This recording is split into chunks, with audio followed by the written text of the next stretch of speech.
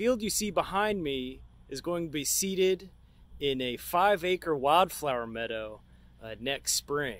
Now, while we're going to be seeding it next spring, what we're doing today is uh, broadcasting a winter rye cover crop.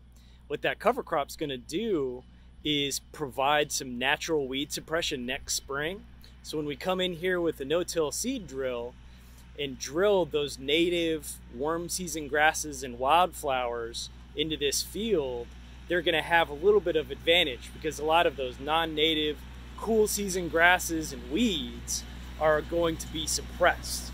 So we're going to have a little bit better establishment of those native species. Uh, now our land steward associate east, Umar Muhammad, is out here hard at work spreading that seed.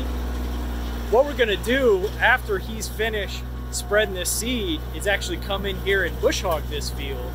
And by mowing all this vegetation, what that'll do is provide thatch that's going to cover the seed that's going to uh, kind of work its way down to the soil through that mowing process as well. Protect that seed, uh, give it a little better germination over the winter.